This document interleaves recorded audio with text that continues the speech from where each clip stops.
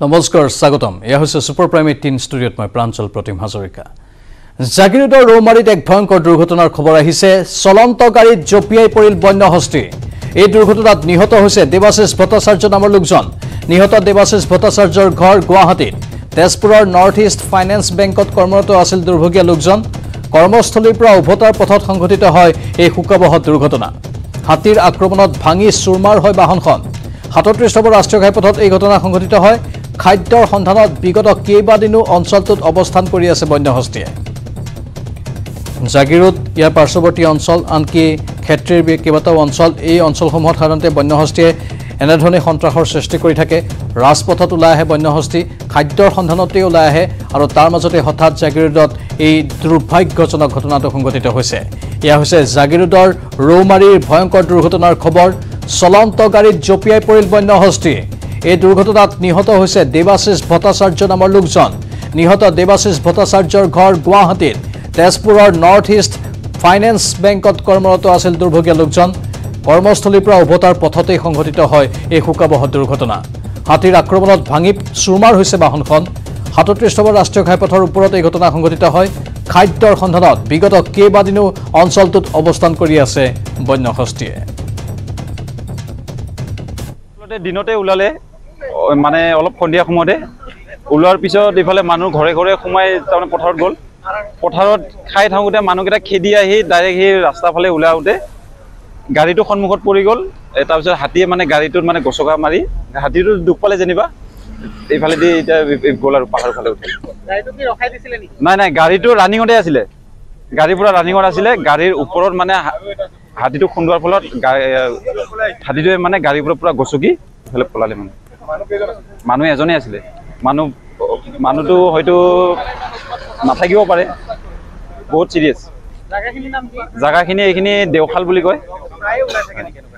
প্ৰায়ে সদায় ওলাই থাকে কিন্তু ফৰেষ্ট আজিলৈকে এনে আহে বম ফুটাই মানে গুচি যায়গৈ। পথাৰ ওলোৱাৰ পিছত মানে সিহঁতৰ দায়িত্ব নাই আৰু। এতিয়াও অসম লোকসেৱা আয়োগত আছে ৰঙা ফিটাৰ মেৰপেচ। কলাক্ষেত্ৰত ছশ পঁচপন্নগৰাকীক নিযুক্তি পত্ৰ বিতৰণ কৰি উদ্বিগ্নতা প্ৰকাশ কৰিলে মুখ্যমন্ত্ৰী হিমন্ত বিশ্ব শৰ্মাই এনেদৰে। নতুনকৈ নিযুক্তিপ্ৰাপ্ত বিষয়াক এ পি এছ চিৰ ৰঙা ফিটাৰ মেৰপেচ ভঙাৰ আহ্বান জনালে মুখ্যমন্ত্ৰীগৰাকীয়ে। চৰকাৰী কৰ্মচাৰীক দুৰ্নীতি নকৰিবলৈ আহ্বান জনোৱাৰ লগতে নতুন ডি এছ পিত দুখীয়া লোকৰ ওপৰত লাঠি পিষ্টল ব্যৱহাৰ নকৰিবলৈ জনালে অনুৰোধ। ইপিনে শেহতীয়াকৈ ঘোচ লৈ গ্ৰেপ্তাৰ হোৱা গৃহ আৰু ৰাজনৈতিক বিভাগৰ যুটীয়া সচিব সন্দৰ্ভতো মন্তব্য কৰিলে মুখ্যমন্ত্ৰীয়ে। উল্লেখযোগ্য যে এঘাৰটা বিভাগৰ খালী পদৰ বিপৰীতে চৰকাৰে বিতৰণ কৰে নিযুক্তি পত্ৰ কৰ্মচাৰী বিভাগত এশ বিছজন গৃহ বিভাগত ঊনসত্তৰজনক নিযুক্তি দিয়া হৈছে। বিত্ত বিভাগত নিযুক্তি দিলে তেত্ৰিছজনক। পৰিবহণ বিভাগত দিয়া হৈছে পাঁচজনক নিযুক্তি। শ্ৰমিক কল্যাণ বিভাগত ওঠৰজনক নিযুক্তি প্ৰদান কৰা হৈছে। জলসিঞ্চন বিভাগত তিনিশ পঁচিছজনে লাভ কৰিলে নিযুক্তি পত্ৰ। আবকাৰী বিভাগত সাতজনে পালে নিযুক্তি পত্ৰ। পঞ্চায়ত আৰু গ্ৰামোন্নয়ন বিভাগত তেত্ৰিছজনক নিযুক্তি পত্ৰ দিয়া হৈছে। দক্ষতা নিয়োগ আৰু উদ্যমিতা বিভাগত চাৰিজনক নিযুক্তি দিয়া হৈছে। ৰাজহ আৰু দুৰ্যোগ বিভাগত একত্ৰিছজনক নিযুক্তি। উদ্যোগ আৰু বাণিজ্য বিভাগত দহজনে পালে নিযুক্তি। আজিৰ দিনটো আমাৰ বাবে আনন্দৰ দিন। প্ৰশাসনত যেতিয়া নতুন ব্যক্তি আহি যোগদান কৰে নতুন তেজ আহে আমি সকলোৱে আনন্দ পাওঁ। কিন্তু আজিৰ দিনটো আমাৰ বাবে দুখৰ দিনো। হয়তো বহুত দিনৰ পিছত অসম প্ৰশাসনিক সেৱাৰ যুটীয়া সচিব পৰ্যায়ৰ বিষয়া এজনক হাতে লোটে টকা লওঁতে অসম আৰক্ষীয়ে ধৰাত পেলাইছে। আৰু তেওঁৰ ঘৰৰ পৰা পঞ্চাছ লাখ টকা যোৱাকালি জব্দ কৰিছে। তাতে গৃহ বিভাগৰ বিষয়াজনৰ ঘৰত এনেকুৱা যেতিয়া ঘটনা হয় তেতিয়া যেন কৰবাত আমাৰ মনত এটাই ধাৰণাৰ সৃষ্টি হয় যে আমাৰ ৰাজ্যখনৰ ভৱিষ্যত কি? মোৰ ঘৰত উপাৰ্জন কিমান? Income certificate this is my right মোৰ কাষ্ট মই যদি অনুসূচিত জনজাতিত জন্ম হৈছো caste certificate is my rights তাত আকৌ মই পুঁজি কিয় দিব লাগে? তাত মই কাৰোবাক টকা কিয় দিব লাগে? আজি তাৰ পৰা অসমে মুক্তি বিচাৰিছে। অসমে পৰিৱৰ্তন বিচাৰিছে। ডাঙৰৰ কাৰণে ন্যায় বেলেগ হ'ব সৰুৰ কাৰণে ন্যায় বেলেগ হ'ব তেনে প্ৰচেষ্টাই সমাজখনক আগুৱাই লৈ যাব নোৱাৰে। আমাৰ প্ৰশাসনত কিছুমান বেমাৰ আছে। আমাক নিজৰ মতে পষ্টিং লাগে। কালিৰ পৰা আমাক খবৰ কৰিম যে গুৱাহাটীত কেনেকে পষ্টিং হ'ব। টেক্সত কাম কৰি থকা মানুহখিনিয়ে খবৰ ল'ব যে শ্ৰীৰামপুৰত কেনেকে পষ্টিং হয় বক্সিহাটত কেনেকে পষ্টিং হয়। যেতিয়ালৈকে মই মুখ্যমন্ত্ৰী হৈ আছো কোনেও এইবিলাক চেষ্টা নকৰাও ভাল আৰু এইবিলাক চেষ্টা কৰাৰ চিন্তা নকৰা ভাল। মোৰ দেউতা যদি বিজেপিটো আছে মোৰ দেউতা যদি এ জি পিটো আছে কোনোবা দেউতাই যদি জীৱনক মোৰ বহুত ডাঙৰ সহায় কৰি থৈ গৈছিল তেওঁৰ বেমাৰৰ সময়ত মই মোৰ জীৱনৰ তেজেৰে কৰবাত যদি অ' গ্ৰুপ মিলে মই গৈ মেডিকেলত অ' গ্ৰুপ দি থৈ আহিম। কিন্তু পষ্টিং চৰকাৰৰ নিয়ম মতে যিসকল পুলিচৰ ডি এছ পি হৈছে তেওঁলোকক মই অনুৰোধ কৰিম পুলিচৰ লাঠি আৰু পিষ্টল কেতিয়াও যেন দৰিদ্ৰজনৰ বুকুত টুওৱা নহয়। দৰিদ্ৰজনক ৰক্ষণাবেক্ষণৰ বাবে মই পুলিচত যোগদান কৰিছো। তেওঁলোকক অত্যাচাৰ কৰিবৰ বাবে মই আৰক্ষী সেৱাত মই যোগদান কৰা নাই। মই ভাবো যে এ পি এছ চি যেনেকে অসম চৰকাৰে ৰঙা ফিটাৰ মেৰ পাছৰ পৰা ওলাই আহিব যত্ন কৰিছে পুৰণা দিনত সাত দিনত নিযুক্তি দিয়া কেতিয়াও সম্ভৱ নহলহেঁতেন। মুখ্য সচিবে ফাইলত লিখিলেহেঁতেন ছাৰ পুলিচ ভেৰিফিকেশ্যন নোহোৱাকৈ কেনেকে নিযুক্তি হ'ব? ছাৰ অমুকৰ পৰা আমি অপিনিয়ন ল'ব লাগিব তমুক ল'ব লাগিব। আমি আজি সাহস কৰিছো যে আমি ৰঙা ফিটাৰ মেৰ পাকবিলাক দূৰ কৰিম। এ পি এছ চিৰ ছেক্ৰেটাৰীক যেতিয়া মই ফোন কৰো I feel very very frustrated যে ৰঙা ফিটাৰ মেৰ পাছ এতিয়াও এ পি এছ চিত বহুত আছে। চৰকাৰত আহিব পিছৰ কথা মই নাজানো বাট মুখ্যমন্ত্ৰী হৈ থকালৈকে I will be a hard task master গতিকে কৰবাত গালিও খাব কৰবাত মৰমো পাব but you have to accept that as it is কাৰণ মই কাৰো কাৰো কাৰণে মই ফোন নকৰো মই এটাৰ কাৰণে ফোন কৰিম এটাই গালি দিম যেতিয়া দুখীয়া মানুহে ন্যায় নাপাব। চৰকাৰত যেতিয়া চাকৰি কৰিম লোকেল লেংগুৱেজ আমাৰ চাকৰি কেতিয়াও কনফাৰ্মেশ্যন নহ'ব যেতিয়ালৈকে আমি ভাষাৰ ৰিকুৱাৰমেণ্ট আমি ফুলফিল কৰিব নোৱাৰো। চৰকাৰ তথা আৰক্ষী প্ৰশাসন কঠোৰ হোৱাৰ পিছতো ব্ৰহ্মপুত্ৰৰ বুকুৰে অব্যাহত আছে চোৰাং গৰু সৰবৰাহ গোৱালপাৰাত চোৰাং গৰু সৰবৰাহৰ বিৰুদ্ধে কঠোৰ হৈছে আৰক্ষী।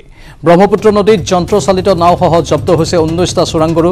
আটক কৰিছে ছয় গৰু সৰবৰাহকাৰী গোৱালপাৰাৰ উপ আৰক্ষী অধীক্ষক অনুৰাগ শৰ্মাৰ নেতৃত্বত পঞ্চৰত্ন নদী আৰক্ষী আৰু মৰ্নৈ থানাৰ আৰক্ষীয়ে যৌথ অভিযান চলাই যন্ত্ৰচালিত নাওসহ জব্দ কৰে ঊনৈছটা চোৰাং গৰু। পাখিউৰাচৰৰ জলজলি নদীয়েদি প্ৰায় পোন্ধৰ কিলোমিটাৰ খেদি খেদি পঞ্চৰত্নত চোৰাং গৰু ভৰ্তি নাওসহ ছটা সৰবৰাহকাৰীক আটক কৰে আৰক্ষীয়ে।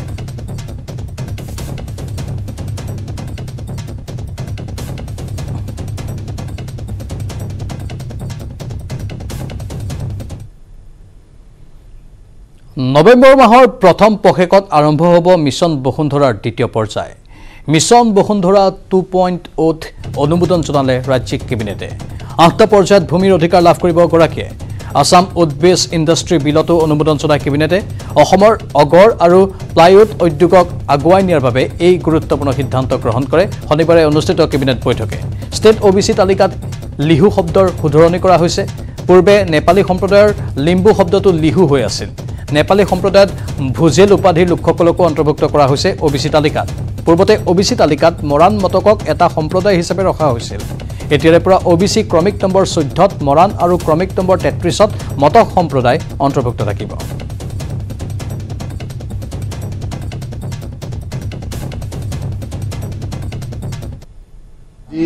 অসম কেবিনেটে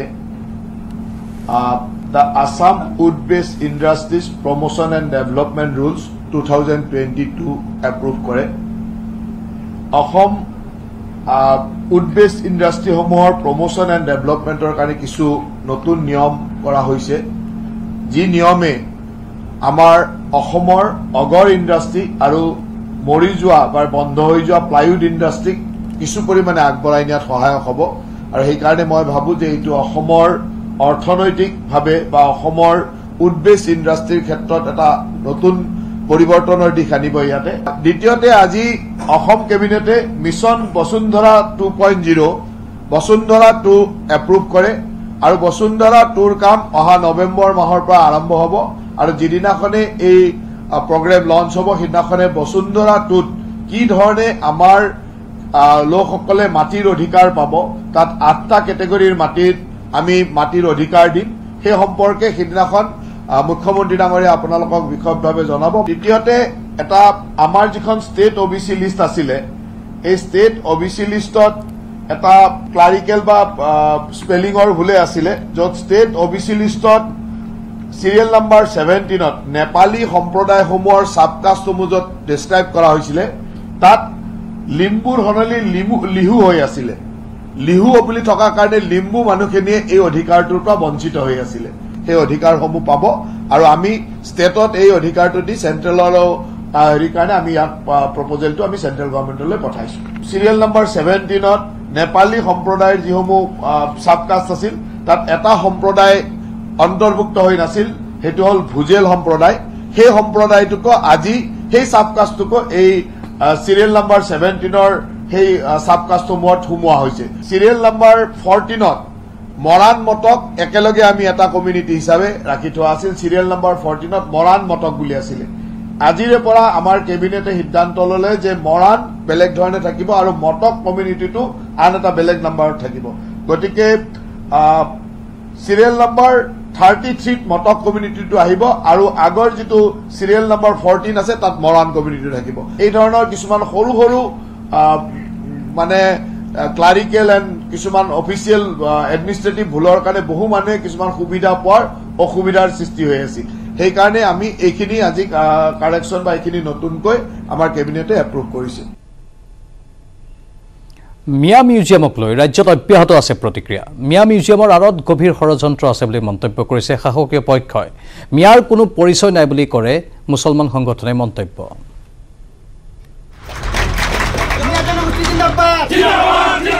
মিয়া বুলি একো নাই। মিয়াৰ কোনো পৰিচয় নাই। সংবাদমেল পাতি মন্তব্য কৰিলে অসমীয়া মুছলিম পৰিষদ আৰু গৰিয়া পৰিষদে। চেয়াৰমেন আলী ডাঙৰীয়াই কেইজনমান মানুহক লগাই দি এটা পলিটিকেল এটা মুনাফা আদায় কৰাৰ কাৰণে কেইজনমান ব্যক্তিক লগাই দি এই মিয়া মিউজিয়ামটো হেৰি মানে তাত খুলিছে। অসমৰ ইতিহাসত মিয়াৰ কোনো অস্তিত্ব নাই বুলি মন্তব্য কৰি ৰাজ্যিক বিজেপিৰ মুখপাত্ৰ ৰঞ্জীৱ কুমাৰ শৰ্মাই ক'লে কলিতেই পুলি পোখালিয়ে মোহাৰি পেলাব লাগে এনে চিন্তাধাৰা। মিয়া বুলি কোনো জনগোষ্ঠী হ'ব নোৱাৰে। এটা এটা উপায় মানে সম্বোধন এটা। মিয়া মানে শ্ৰীমান। সম্বোধন এটা সম্বোধনক লৈ পেলাই জাতি হ'ব পাৰে নেকি? গতিকে এই গোটেই প্ৰক্ৰিয়াটো কলিতে মোহাৰি পেলাব লাগিব। মিয়া মিউজিয়াম জাতিক বিভাজিত কৰাৰ চক্ৰান্ত বুলি মন্তব্য পৰিবহণ মন্ত্ৰী পৰিমল শুক্লবৈদ্য আৰু মন্ত্ৰী সঞ্জয় কিষাণৰ। আমাৰ বৃহৎ অসমীয়া জাতিটোক দুৰ্বল কৰাৰ কাৰণে যিসমূহ অপশক্তিয়ে প্ৰয়াস কৰিছে আৰু তেওঁলোকে কোনো কাৰণতে ইয়াত সফলতা অৰ্জন কৰিব নোৱাৰিব।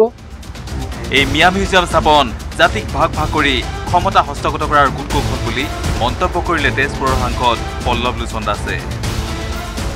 জাতিটোৰ মাজত ভাগ হওক তেওঁলোকে এইটো বিচাৰে আৰু সেই ভাগ কৰি তেওঁলোকে নিজে কেনেকৈ শাসনত আহিব পাৰোঁ এই কথাৰে তেওঁলোকে এইবিলাক কথা কয়।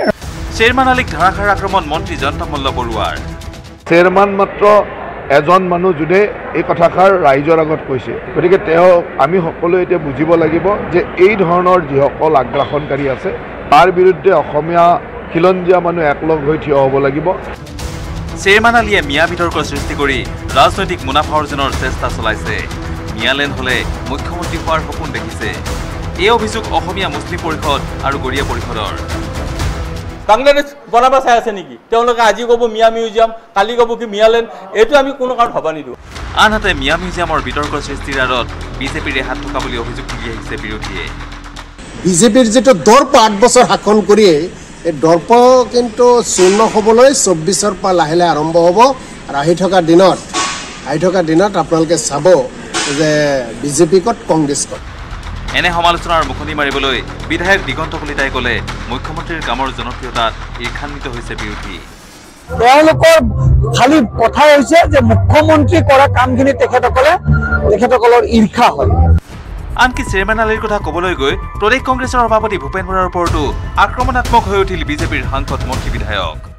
কিয় তেখেতৰ মিয়াৰ প্ৰতি ইমান মৰমল? সেইটো তেখেতে প্ৰথম প্ৰকাশ কৰক। ভূপেন বৰা ডাঙৰীয়াই এইটো গ্ৰহণ কৰাটো এইটোৱে বুজা গৈছে। যে তেওঁ অসমক কিমান ভাল পায় অসমীয়া মানুহক কিমান ভাল পায়। Bureau report news eighteen Assam north east. গুৱাহাটীৰ ৰেডিছন ব্লু হোটেলত উৎসৱমুখৰ পৰিৱেশ। দুবছৰৰ পাছত পঞ্চতৰাকোৱা হোটেলখনত অনুষ্ঠিত হ'ল ফ্ৰুট মিক্সিং চেৰিমনী এই ফ্ৰুট মিক্সিং চেৰিমনীৰ সুগন্ধই প্ৰাণবদ্ধ কৰি তুলিলে সমৃদ্ধ পৰম্পৰা আৰু উৎসৱৰ বতৰত ফ্ৰুট মিক্সিং চেৰিমনীৰ জৰিয়তেই তৈয়াৰ কৰা হ'ল খ্ৰীষ্টমাছ পুডিং অথবা প্লাম পুডিং। উল্লেখযোগ্য যে সোতৰশ শতিকাতেই ইংলেণ্ডত আৰম্ভ হৈছিল খ্ৰীষ্টমাছ পুডিং যাক প্লাম পুডিং বুলিও কোৱা হয়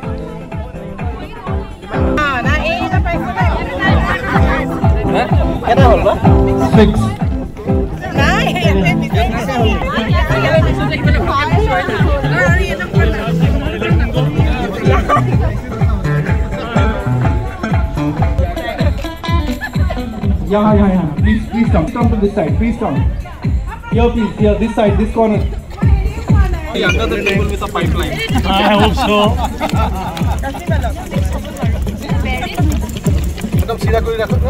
The best way. Let's start mixing it. Let's start mixing it. And let's start hunting for this. Mix it up, mix it up. Mix, mix, mix, mix, mix. I need ton of it. जानते थे क्यों डाले जिससे हम अच्छे से mix करें हम लोग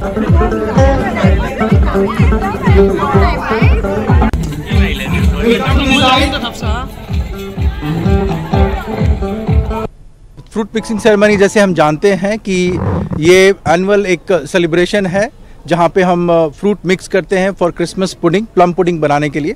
ये इसकी जो कहानी है वो वे बैक सेवनटीन सेंचुरी में जाती है, जहाँ पे इंग्लैंड में ये शुरू हुआ था।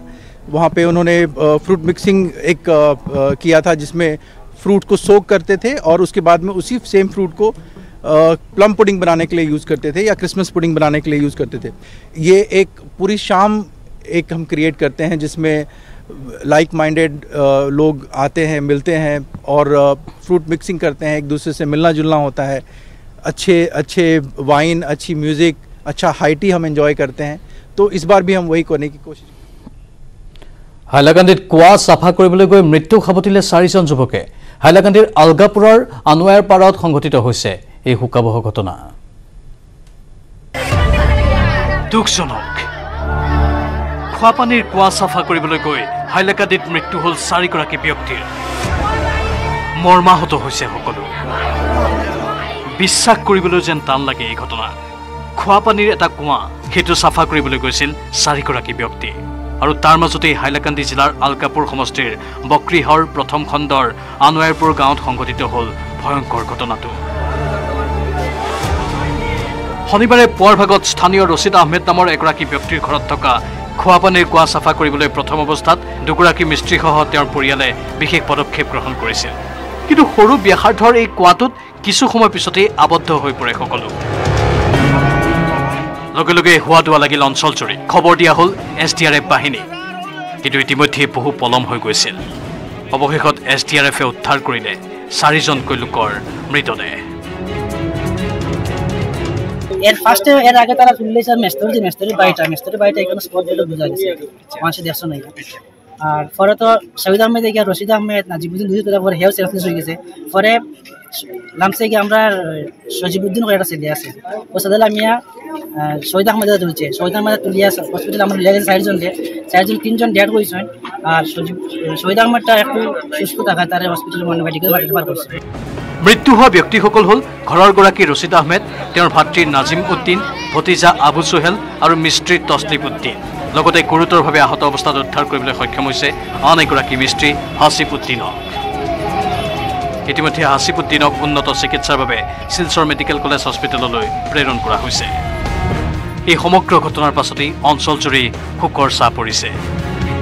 হাইলাকান্দিৰ পৰা Rahul Chakraborty news eighteen Assam north east. এইবাৰ ৰাণীৰ বিক্ৰমপুৰত কিং কোব্ৰাৰ ত্ৰাস। ভক্ষণ কৰিছে হাঁহ কুকুৰা। অৱশেষত বন বিভাগে দুষ্প্ৰাপ্য শব্দাল উদ্ধাৰ কৰি এৰি দিয়ে বনাঞ্চলত।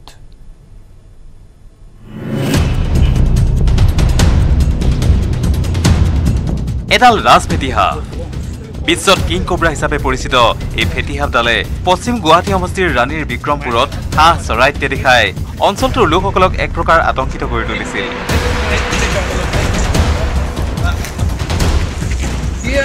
ইচ্ছা কৰা নাই এই খবৰ পোৱাৰ পিছতেই ৰাণী বন বিভাগৰ সহযোগত আজাৰাৰ সৰ্পবন্ধু তথা প্ৰকৃতিপ্ৰেমী মিলু মেধি আৰু বয়কা নামৰ দুই যুৱকে উদ্ধাৰ কৰে সাপডাল সাপডাল উদ্ধাৰ কৰাৰ পিছতেই এই দুই যুৱকে ৰাণী কপিলী সংৰক্ষিত বনাঞ্চলত এৰি দিয়ে। এই দৃশ্যটো চাবলৈ অঞ্চলটোত ভিৰ কৰে বহু লোকে।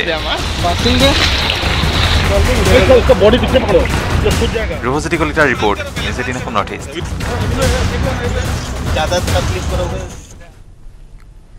Chaklong বিবাহক লৈ শংকৰ সংঘৰ কেন্দ্ৰীয় সমিতিয়ে লোৱা নাই কোনো সিদ্ধান্ত। অৱশ্যে সংঘৰ সংবিধানত থকা মূল নীতি ভংগ কৰিলে সাংবিধানিকভাৱে গ্ৰহণ কৰিব অনুশাসনমূলক ব্যৱস্থা গ্ৰহণ কৰা হ'ব বুলিও তেওঁলোকে এনেধৰণে স্পষ্ট কৰি দিলে সংবাদমেলত নগাঁৱৰ মুখ্য কাৰ্যালয়ত সংবাদমেলত এই কথা ঘোষণা কৰে শ্ৰীমন্ত শংকৰদেৱ সংঘই। এটা নামঘৰৰ দলত সম- ভিতৰত গাৰুৰ গোবিন্দ ভোটৰ সংবিধানত চকলং বুলি কোনো লিখা নাই বৈদিক বুলি লিখা নাই হোমযজ্ঞ বুলি একো লিখাই নাই। আমি কৈছোঁ যে আমাৰ যিটো নীতি মূল নীতি এক শৰণ যিটো নীতি একমেৱ দ্বিতীয়ম আমি এই নীতিৰ বাদে অন্য আমাৰ সংগঠনৰ ভিতৰৰ লোকক অনুশাসন আছে। আমাৰ নীতি যদি কোনোবাই ভংগ কৰে তেওঁলোকৰ ওপৰত আমি অনুশাসনমূলক ব্যৱস্থা ল'ব পাৰোঁ। জাতি জনগোষ্ঠীক আঘাত সানিব পৰা এনেকুৱা কথা শ্ৰীমন্ত শংকৰদেৱ সংঘই কেতিয়াও মানি নলয়। মই তেখেতসকলক হাতযোৰ কৰি কৈছোঁ যে আমি সকলো জাতিক সন্মান কৰোঁ তেখেতসকলক আমি শ্ৰদ্ধা কৰোঁ তেখেতসকলে যদি অকণমানো মনোকষ্ট পাই আছে আমি তেখেতসকলক হাতযোৰ কৰি কৈছোঁ যে আপোনালোকে মনোকষ্ট নেপাব। কাৰণ আপোনালোকৰ এই কথাবিলাক হয়ো কোনোবা সংগীয়ে লিখোঁতে অকণমান ভুল কৰি দিয়াৰ কাৰণে তাৰ কাৰণে মনোকষ্ট পাই গ'লতো। গতিকে এই মনোকষ্টটো দূৰ কৰাৰ দায়িত্ব আমাৰ আমি লৈছোঁ। এইটো নাই আপোনালোকে এঘৰীয়া ব্ৰইলাৰ সংবিধানখনকে লৈ যাওক। আপুনি ইয়াত ব্ৰইলাৰ গাহৰি লিখিম নেকি? ইয়াত। এইটো সংবিধানত নথকা বাংলাদেশলৈ আঠ বাংলাদেশীক প্ৰত্যৰ্পণ। কৰিমগঞ্জৰ সূতাৰকান্দিয়েদি প্ৰত্যৰ্পণ আঠ বাংলাদেশীক। শিলচৰৰ কাৰাগাৰত থকা ছয় বাংলাদেশীক প্ৰত্যৰ্পণ কৰা হ'ল লগতে বকুৰ পৰা দুই বাংলাদেশীক পঠিওৱা হ'ল। বকুৰ কাৰাগাৰত তেওঁলোক বন্দী হৈ আছিল। মুঠ আঠগৰাকী। এফালে শিলচৰ কাৰাগাৰৰ ছয়গৰাকী আৰু বকুৰ কাৰাগাৰৰ দুগৰাকী। অসম আৰক্ষী বি এছ এফে গতাই দিছে বাংলাদেশ আৰক্ষীক এই আঠোগৰাকীক। শাস্তিৰ ম্যাদ উকলি যোৱাত উভতাই পঠিওৱা হৈছে তেওঁলোকক বাংলাদেশলৈ। এওঁলোক বিভিন্ন সময়ত ধৰা পৰিছিল। এওঁলোকৰ হাতত পাছপৰ্ট নাছিল বা ভিছা নাছিল। তেওঁলোকে বেআইনীভাৱে ভাৰতত প্ৰৱেশ কৰিছিল আৰু বিভিন্ন স্থানত ঘূৰি ফুৰিছিল। সেয়েহে তেওঁলোকক কৰায়ত্ব কৰা হৈছিল সেই সময়ত আৰু শাস্তিৰ ম্যাদ উকলি গৈছে এতিয়া পুনৰ নিজৰ ঘৰলৈ পঠিয়াই দিয়া হৈছে।